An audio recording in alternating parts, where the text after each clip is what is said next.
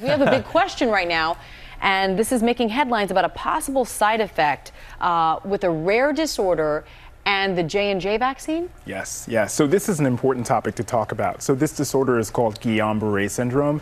It's actually a rare disorder that actually, I would say actually not that rare. Um, so what it is, is it's a syndrome that starts with numbness, tingling, and weakness of the hands and the feet that ascends or goes up the body.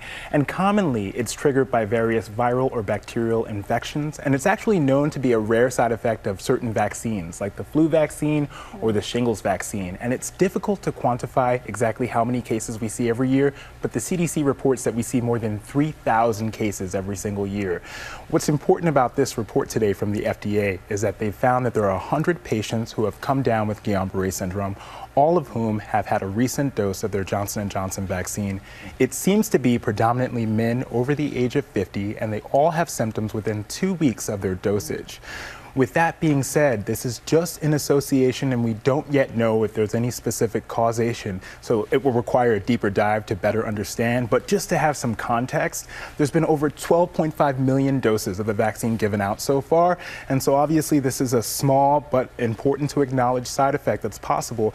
And with that being said, it's also important to acknowledge that the risk of COVID-19 still far outweighs any possible risk association to this vaccine.